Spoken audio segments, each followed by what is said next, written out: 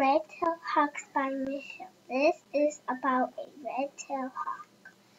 Red-tailed hawks live in North and Central America. A red-tailed hawk eats rodents, rabbits, and birds. Red-tailed hawks have sharp beaks. Red-tailed hawks' babies are called yearlings.